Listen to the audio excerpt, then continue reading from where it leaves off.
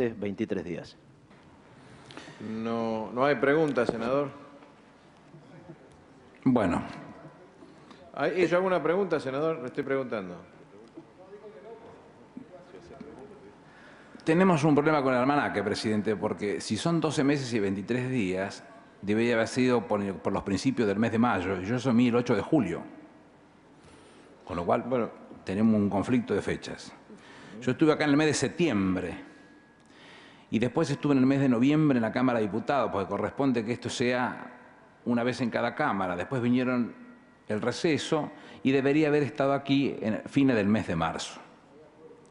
Con lo cual he hecho consultas informales. A lo mejor mi error debe haber sido no haber presentado una nota formal y ver qué es lo que sucedía. Y me aconsejaban propios, y, y- y por supuesto que no pienso mencionar a nadie, propios y de, y de la oposición, que no era saludable hacer la reunión en el mes de marzo y en abril que presentara la nota para comenzar a hacer este tema. Y esto fue lo que yo hice. Entonces, este, acá lo dejo, señor presidente. En todo caso, el atraso que tengo es de dos meses y ha sido involuntario, absolutamente involuntario. Igualmente, siguiendo la línea de todos los jefes de gabinete, debo haber sido el que más veces vino, porque este, viendo la estadística eso muestra. Este, y yo ratifico lo que dije, así que la primera contradicción en mi biografía no va a estar. La del tren bala, eh, yo quisiera recordarle al senador que en el 2009 en el mundo algo pasó. No sé bien qué pasó, pero algo pasó. Y eso hizo imposible la práctica de un crédito de esa característica, como es imposible la práctica de créditos de la característica de la securitización en Estados Unidos, o en España, o en Portugal, o en Irlanda, o en Grecia. Y esta convulsión que vive el mundo hace que ese crédito, que solamente era adjudicado a los efectos de, un programa, de un proyecto de esa característica, no exista más. Entonces, es la segunda contradicción que mi biografía no va a contener. Respecto del fútbol, cuando se presentó, se publicó el día 2 de septiembre en el boletín oficial, y suelo haber cada uno que los preguntan por el decreto 1172, le digo, remitirse al decreto 11, al, al 11 de- al, al boletín oficial del 2 de septiembre, porque es un único contrato y no hay modificaciones de ese contrato, dice con toda la claridad que son 600 millones de pesos. ¿Y esos 600 millones de pesos cómo se pagaban? El día que firmamos, que fue un día jueves, porque el campeonato comenzaba un día viernes, pusimos 100 millones de pesos y los otros 500 se dividieron en 11 meses. Por eso las cuotas son de 45 millones 454 mil 545 pesos. Es decir, periodo 45 por una razón elemental. Estamos dividiendo 500 por 11. Entonces, esta es lo único que se está pagando. ¿Cuál es el gasto adicional que se tiene?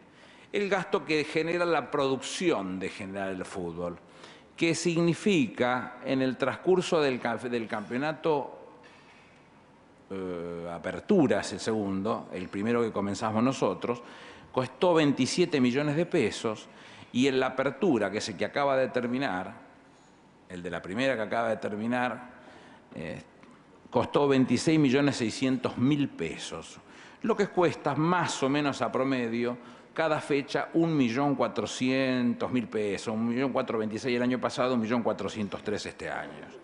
Eh, ¿Qué dijo la presidenta de la Nación en aquella oportunidad? Que se iba a financiar con dinero de publicidad oficial. Esa fue la expresión de la presidenta de la Nación. Entonces, lo que yo dije, y lo sostengo, vamos a buscar todas las alternativas habidas y por haber para tratar de comercializar ese producto fútbol que nos permita, conforme dice nuestra, eh, nuestra expresión, que le agradezco al senador que la leyera por mí, tratar de llegar a ese fondo que nos permita compensar ese dinero que tenemos que pagar y las diferencias fueran al deporte olímpico. Y eso estamos haciendo. Hay varias licitaciones que fu- fueron publicadas en los diarios más importantes de este país y que son conocidas y que hay mucha gente que se ha presentado en ellas para poder hacerlo. Alguno debe, seguramente va a quedar en el tintero y por eso aprovecho para contarla ahora, ¿por qué no tomamos publicidad privada? Porque los segundos con los que contamos, que son una cantidad importante en 10 partidos por cada una de las 19 fechas, esos segundos valen muchísimo dinero. Nosotros hicimos un pool para definir cuánto era el, mejor valor que se le podía poner. Lo publicamos y nos dimos cuenta que, que era alto y nos satisfizo. ¿Por qué razón, señor presidente? Porque hubiese sido incómodo para nosotros que nos dijéramos que hubiéramos bajado para que entrara cualquiera. Pero cuando nos pusimos a buscar alternativas para vender publicidad privada, nos dimos cuenta que por unos pocos millones terminamos cediendo un montón de segundos que lo que le producía al Estado era pérdida, porque no le daba la ventaja de ni siquiera hacer publicidades de la que está obligado a hacer el Estado desde el punto de vista de publicidad este, de oficial. Entonces lo que hicimos fue eso, seguir con las licitaciones, seguir buscando nuevos esquemas de negocio, seguir generando un ámbito de negocio que nos dé en algún momento esta oportunidad. No son mágicas las cosas, hay que buscar eso para hacerlo lo suficientemente serio y garantizarnos que tengamos una respuesta como la que esperamos los argentinos.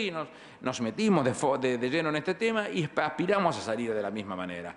Y mientras tanto se cumple lo que la presidenta dijo públicamente a todo el que lo quisiera escuchar, que iba a ser utilizado con la publicidad oficial. Y lo que se está haciendo es eso, utilizado con la publicidad oficial. Entonces, es el tercer punto que mi biografía no va a tener, señor presidente. Gracias, señor.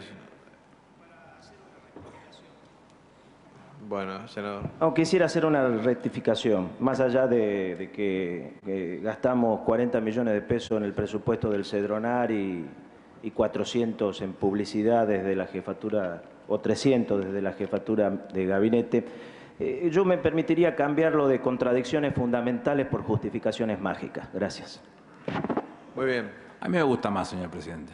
A mí también.